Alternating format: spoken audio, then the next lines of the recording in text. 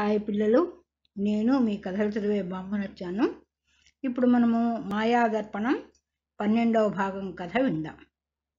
ఇంతవరకు జరిగిన కథ తన ప్రజ్ఞతో తామ్రశాసనంలోని విషయాన్ని గ్రహించగలుగుతాడు జయసింహుడు.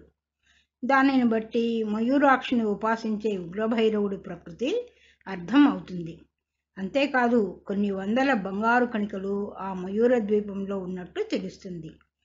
పర్వతకుడి ఆశీర్వాదంతో జయసింహుడు ఒక గూడు పడవలో గదాధర కరటక శర్మలతో బయలుదేరుతాడు.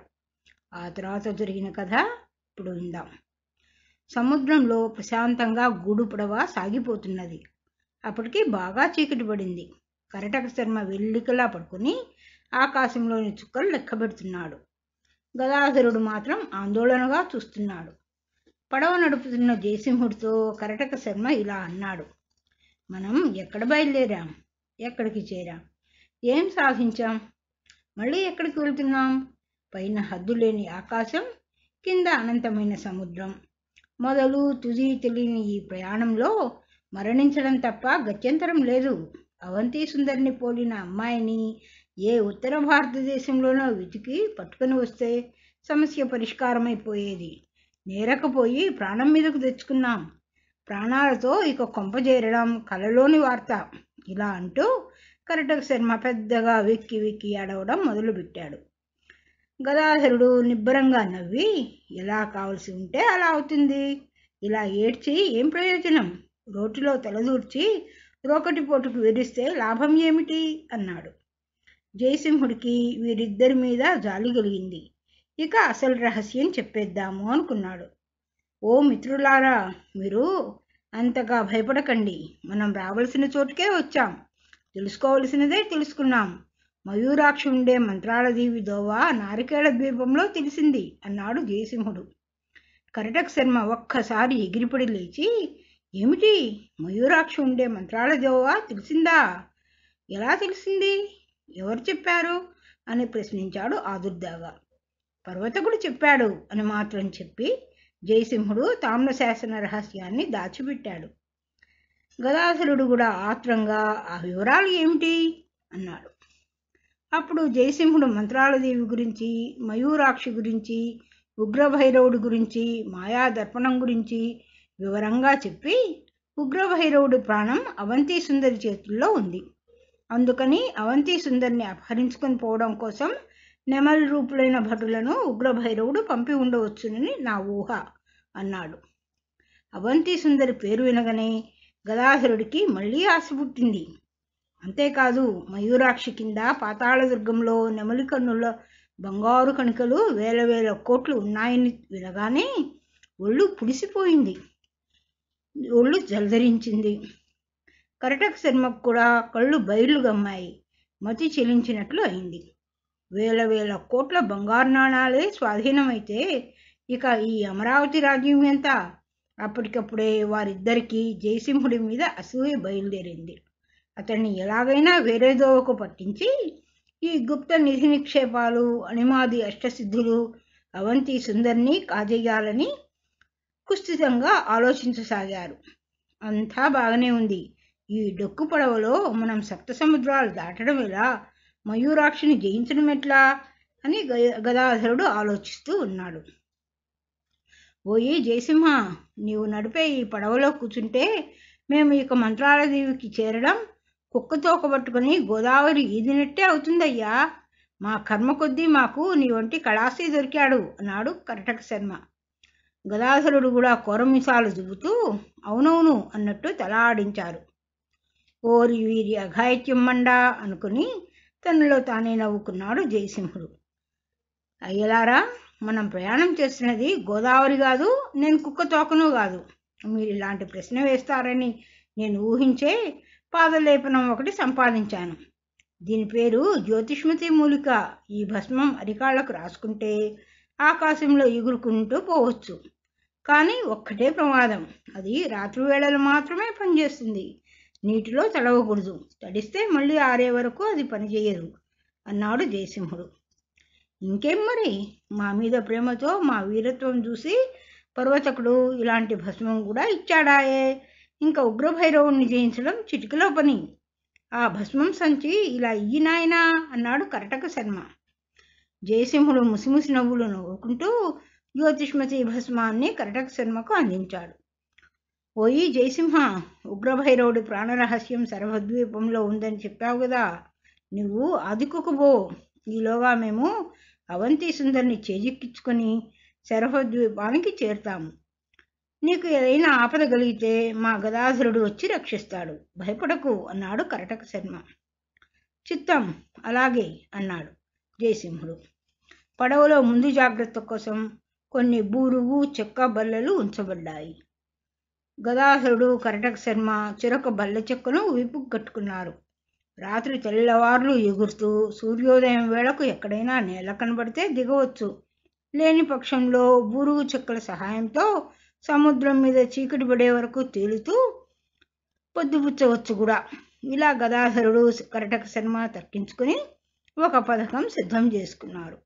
వీరులారా క్షేమంగా వెళ్ళి లాభంగా తిరిగి రండి అని జయసింహుడు వారికి శుభాకాంక్షలు అందించి వీడ్కోలు చెప్పాడు. అంతే ఒక్క క్షణం కూడా వృధా చేయకుండా చెప్పులకు మూలిక భస్మం పట్టించి జయ పరమేశ్వర అంటూ ఇద్దరు పక్షుల్లాగా ఆకాశంలోకి ఎగిరిపోయారు. జయసింహుడు పడవలో అలా ఒంటరిగా చాలాసేపు ఉండిపోయాడు. చూస్తూ చూస్తూ ఈ దురాశాపరులు ఇద్దరిని నేను మృత్యుముఖంలోకి పంపలేదు కదా అని బాధపడ్డాడు జయసింహుడు. మీరు ఎలా వచ్చారో అలాగే వెళ్ళారు. కేవలం తాను నిమిత్తమాత్రుడిగానే మిగిలిపోయాడు. వీలైతే తాను చేయగలిగిన సహాయం చేశాడే తప్ప అపకారం చేయలేదు. అలాంటప్పుడు వారి కర్మకు తానెలా బాధ్యుడవుతాడు? ఇలా అనుకోగానే మానసికంగా అతనికి కొంత బరువు దిగినట్టు అనిపించింది. ఇక పడవ ప్రయాణం అనవసరమని భావించి గరుత్మంతుడిలాగా మారి శరభద్వీపాన్ని వెతుక్కుంటూ ఆకాశ మార్గంలో ప్రయాణించసాగాడు జయసింహుడు. పోగా పోగా మర్నాడు సూర్యోదయం వేళకు ఒక ఎత్తైన పర్వతం వచ్చింది. విశ్రాంతి కోసం సముద్ర మధ్యంలోని ఆ కొండకుమ్మ మీద దిగాడు జయసింహుడు. గరుత్మంతుడి రూపంలోనే ఉండి జయసింహుడు అక్కడి నుంచి ప్రకృతిని పరిశీలించసాగాడు. అదొక నిర్మానుష్యమైన పర్వతంగా కనబడుతోంది. పర్వతం పైన అక్కడ ఎక్కడా పచ్చని చెట్టు చేమ కూడా లేకపోలేదు. అంతలో సూర్యోదయమైంది. అతడు మానవ రూపం ధరించి ఏదైనా జలవస్తు ఉంటుందేమోనని వెతకసాగాడు. అతడికి ఒక సెలయేరు కనపడింది. ఆనందంతో అక్కడికి వెళ్ళి స్నానం ముగించుకుని సూర్యుడికి అర్ఘ్యం ఇచ్చాడు. ఆ తరువాత కనులు మూసుకొని ఓం శివాస్త్రాయ శివాస్త్రాయ విద్మహే కాలమేఘాయ ధీమహే తన్నో అక్ష ప్రచోదయాత్ అని సూర్యుడిలో అంతర్యామిగా ఉన్న పరమేశ్వరుడికి అర్ఘ్యం సమర్పించాడు జయసింహుడు. ఓం భవం తర్పయామి ఓం నృడం తర్పయామి ఓం హరం తర్పయామి అని సూర్యుడికి పరమేశ్వరుడికి నమస్కరించి జలాన్ని వదులుదామని చూసేసరికి అతని చేతిలో బంగారు ద్రావకం ఉంది. జయసింహుడు వింటబడి ఓసారి చుట్టూ చూశాడు.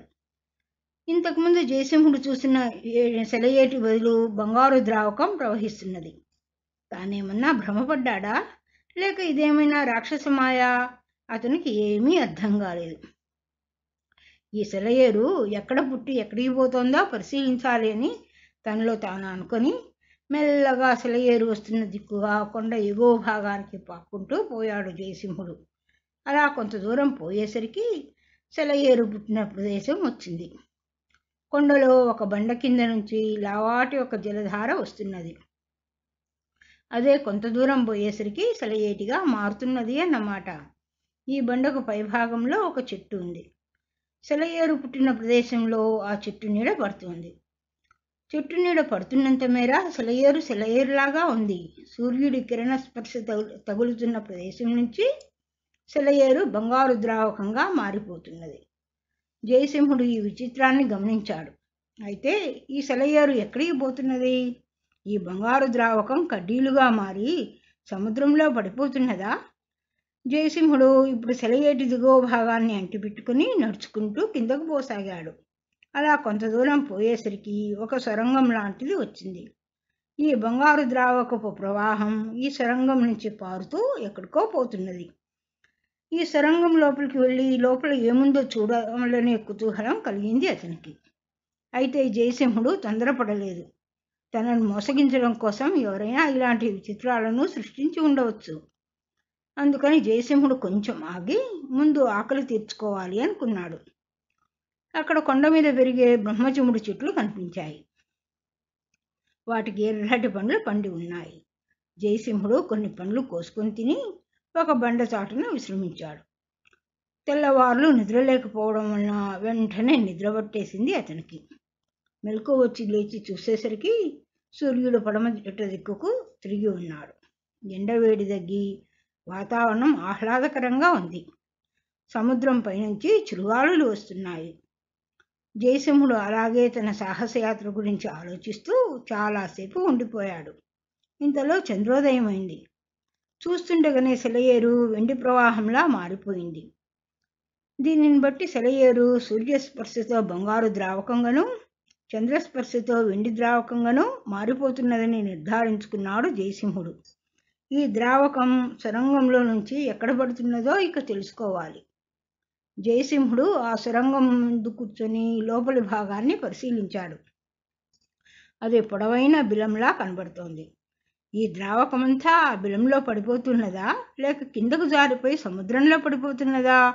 అని ఆలోచించాడు జయసింహుడు. ఆ పైన జయసింహుడు గబ్బిలంలాగా మారి సొరంగంలోకి ప్రవేశించాడు. అలా కొంత దూరం పోయేసరికి సొరంగం కిందకు మలుపు తిరిగినట్టు అయింది. అక్కడి నుంచి ప్రవా ద్రావకపు ప్రవాహం ధనధనమని కింద పడుతున్నట్టు శబ్దం వినవస్తూ ఉన్నది. అంటే అక్కడి నుంచి ప్రవాహం జలపాతంలా మారిపోయిందన్నమాట. అలా జలపాతం అంట కిందకు వెళ్తే ఏమవుతుంది? ఇది కొత్త ప్రదేశం. ఏమీ తెలియని చోటు. రాత్రివేళ లేనిపోని కష్టాన్ని కొంతించుకోవడం ఎందుకు అని ఒక్క క్షణం అనిపించినా సాహస ప్రవృత్తిగా జయసింహుడి మనసుకు ఈ జలపాతపు దిగువ భాగంలో ఏముందో చూడాలి అనిపించింది. అందుకనే అలా మరి కొంత దూరం ముందుకు పోయేసరికి గబ్బిలం రూపుడైన అతడు ఉక్కిరి విక్కిరి అయిపోసాగాడు. సొరంగం పైభాగం నుంచి బంగారు పొడి వెండి పొడి జలజలా రాలుతున్నది. జయసింహుడు ముందుకు పోలేకపోయాడు. ఇక వెనుదిరుగుదామని ప్రయత్నించే లోపల పెద్ద బంగారపు రాతిపలక జయసింహుడి నెత్తిన పడింది. దానితో గబ్బిలం రూపుడైన అతనికి కళ్ళు తిరిగాయి. మంత్రం చదువుతూ మానవ రూపంలోకి వచ్చాడు. అలా వస్తూనే స్పృహ తప్పిపోయాడు. ఎగురుతున్న గబ్బిలం జయసింహుడిగా మారి వెండి ప్రవాహంలో పడిపోవడంతో అతడు కూడా ప్రవాహంతో పాటు ముందుకు కొట్టుకొని పోసాగాడు. అలా కొంత దూరం పోయేసరికల్లా వెండి జలపాతం వచ్చింది. జలపాతం ప్రవాహ గమనంలో జయసింహుడు వేగంగా కిందకు పడిపోయాడు. అక్కడ తిమ్ తిమింగులపు జాతికి చెందిన ఒక రకమైన పొడుగు తోక చేపలు ఉన్నాయి. అందులో ఒక చేప జయసింహుని తోకతో గట్టిగా కొట్టింది. ఆ దెబ్బకు జయసింహుడు గాలిలో పల్టీలు కొట్టుకుంటూ ఎగిరిపోయి ఒక చోట పడ్డాడు. అలా పడిన పాటుకు అతనికి స్పృహ వచ్చింది. కనులు తెరిచి చూసేసరికి అతడు సెలయేటి మొదట్లో ఉన్నాడు. జయసింహుడు ఒళ్ళు విరుచుకొని లేచి నిలబడ్డాడు. తాను జలపాతంలో పడిపోవడం గుర్తున్నది కానీ గిరికీలు కొట్టుకుంటూ కొండపైకి రావడం అతనికి తెలియదు. ఈ ఏరు సహజమైనది కాదని దీని వెనుక ఏదో ఒక రహస్యం ఉండి ఉంటుందని జయసింహుడికి అనిపించింది. అప్పటికి అర్ధరాత్రి దాటింది. ఇంతలో ఏదో మధురమైన గానం వినపడింది అతనికి. గభాలన చుట్టుచాటుకు వెళ్ళి దాక్కున్నాడు. ఆకాశం నుంచి ఎవరో దిగి వస్తున్న అలికిడి వినిపించింది. జయసింహుడు అటువైపు చూశాడు. ఈ కథ ఇంకా ఉంది? తరువాత భాగం మళ్ళీ విందాం. కథ కంచికి బామ్మ ఇంటికి పిల్లలు మీకు ఈ కథ నచ్చినట్టయితే లైక్ చేసి సబ్స్క్రైబ్ చేయండి. మీ బంధుమిత్రులతో షేర్ చేయండి.